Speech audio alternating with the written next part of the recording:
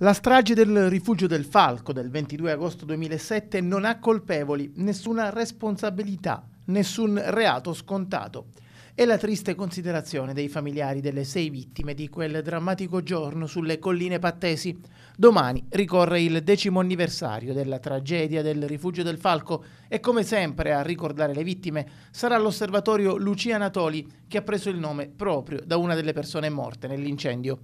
Da dieci anni l'Osservatorio celebra la giornata del 22 agosto con l'obiettivo di rinnovare la memoria e sollecitare le pubbliche amministrazioni ad intervenire per quanto riguarda la prevenzione e la salvaguardia del territorio.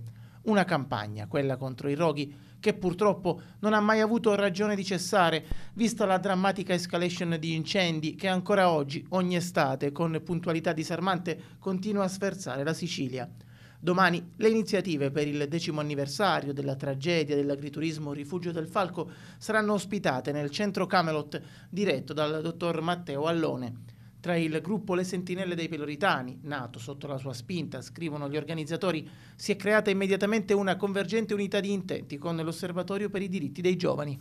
Nella prima mattinata a Messina è prevista la partecipazione dei familiari di Lucia Anatoli con interventi di tutti gli organizzatori dell'evento. Alle 12.30 il trasferimento presso l'area attrezzata di Zirio concessa dall'ufficio del territorio della regione siciliana.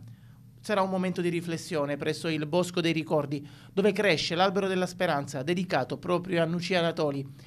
Poi il consueto pranzo collettivo e benaugurante con tutti i partecipanti a difesa del patrimonio dei peloritani.